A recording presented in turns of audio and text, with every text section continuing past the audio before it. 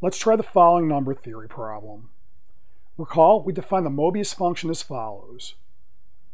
We take a positive integer n, okay, consider its prime factorization, mu of n, so be equal to 1 if n is equal to 1, it'll be equal to 0 if some prime squared divides n, otherwise it's going to be minus 1 to the k, where k is the number of prime factors. So, what's happening here? We'll have mu of n equal to 0, okay, if some square of a prime divides n. Otherwise, what we're doing is counting whether there are an odd or even number of prime factors in the factorization, okay, and there's no exponents. Next, we define sigma sub k on n as the sum over the divisors of n of d to the k. We want to calculate s sub k of n where this is defined as the sum over the divisors of n of mu of d, sigma sub k of d. Now, before we get to the answer and the proof, let's play around with s sub k a little bit. It'll be sufficient to play around with s sub 1. So what do we do? First, I'll consider s of p, where p is a prime. Now, the only divisors here are going to be 1 and p. So I have mu1 sigma 1 mu p sigma p. Mu1 is equal to 1 by definition. Sigma 1 is equal to 1. Okay, there's only one divisor there, which is 1, so the sum is 1. For mu of p, okay, mu of p, there's a single prime factor, so I get a minus 1. Then the sum of the divisors of p is going to be 1 plus p. So I work this out, I get a minus p. If we take a power of a prime, same idea have mu1 sigma 1, mu p sigma p, then mu p squared, sigma p squared, and then so on till we get to mu of pk, sigma pk. What happens here though, you'll note, okay, same as before for the first two terms, but if I take mu of a square or higher power, that goes to zero. So all these higher terms drop out, and again, I'm going to get a minus p. One more. Let's try a product of two primes. So here, we have S of P1, P2. Same idea. The divisors are 1, P1, P2, and P1, P2. So we work this out. So we'll get a 1 here. As we did before, I'll have a minus 1 plus P1. Here I'll have a minus 1 plus P2. Then here we're going to have, okay, this has got two factors, so I get a 1. Then the sum of the divisors of P1, P2 is 1 plus P1 plus P2, P1, P2. When we work this out, we get P1 times P2. And to make this suggestive, I write it as minus P1 minus P2. Here's the answer. Pick any positive integer n. Okay, we take its prime factorization. Okay, so here we'll have m distinct prime factors. For any k, s sub k on 1 is equal to 1. Okay, that's easy to check straightforward. For n greater than 1, s sub n, what we're going to do is take each distinct prime factor, take the product, but each factor gets a minus sign. So p1 through pm times minus 1 to the number of distinct prime factors. So just strip out the exponents. For s sub k of n, okay, same idea, Except now we strip out the exponents, replace each of them with k. Now, to show this, it'll be enough to assume k is equal to 1, and then you can just go through and replace the k's. Our first step, we're going to show that the value of s doesn't change if we strip out the exponents. Then we'll just calculate for s on a product of distinct primes. Now, to see this, okay, we just take the definition. So S sub n, okay, we're gonna have S on prime factorization.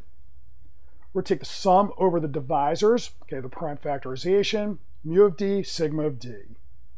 Now, as we saw on the previous board, the only sums I have to consider are those which have no squares in them. Okay, if we have a square of a prime, the mu is going to go to zero, and then that term vanishes.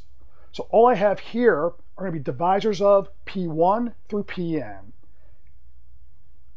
With that, you know, all we're considering now is S of P1 through Pm. So the point here is mu is going to take out any higher powers of the primes. So our first step, we can strip out the exponents. So now all I have to do is calculate this thing here. That we'll be able to do using induction. Okay, so we know that S of 1 is equal to 1. So for the induction step, what I want to show is, okay, we have a product of primes. Okay, they're distinct. I want to show that I can peel one of those off just by multiplying out in front with a minus sign. Again, we're just going to write out the definition. Now, here what I can do is break this up into two sums. We'll have, okay, the divisors that just divide P1 through PM, so there's no PM plus 1 factor. Then we'll have those that have a PM plus 1 factor. Now note here, I'm only going to consider divisors of P1 through PM. We're guaranteeing a PM plus 1 factor, so I don't have to put it in here. I'm just going to put it in each of these terms. Now, you'll note for mu of d PM plus 1, that has one extra prime, so that's going to be minus 1 times mu of d. Then I have to calculate the sigma of d p to the m plus 1. Now again, sigma is going to be a sum over the divisors of d p to the m plus 1. So we break it up into two sums as we did here. So we'll have those, okay, the sum of the divisors of d, so that'll get a 1. Then we'll have the sum of the divisors of d times pm plus 1. So we just put in a pm plus 1 factor. So with that, we can factor out a sigma d, leaving me with a factor of 1 plus pm plus 1. Now we put that all together, that's going to give me a minus 1, a 1 plus pm plus 1. Then what's left over is just going to be the sum over the divisors of P1 through PM. So it's going to give me SP1 through PM. Okay, note S of P1 through PM is what I also have with this sum. Now, when we simplify this, what comes out is going to be minus PM plus 1, S of P1 through PM, as promised. Then with induction, we can build up on the number of primes. So that's going to give us our rule from here. Here's a better argument. Better because it handles the general situation. We start with the definition. But f function of the positive integers, call it multiplicative if f of 1 equals 1, and f of m times n equals f of m times f of n whenever m and n are relatively prime. So what this says is that I can build up f just by knowing its values on the powers of primes. Now, note, mu is multiplicative, sigma sub k is multiplicative, the product is multiplicative. We'll show in a second that each s sub k is multiplicative. So we get our formula on the previous board just by noting that if I take s on a power of a prime, we just get minus that prime, and then we build up. Now, to show that s of k is multiplicative, let's pick m and n relatively prime. Okay, we write out the definition. So we're going to sum over divisors d of mn mu d sigma sub kd. Now, because m and n are relatively prime, if I have a divisor of m times n, I could split that into the part that divides m and the part that divides n.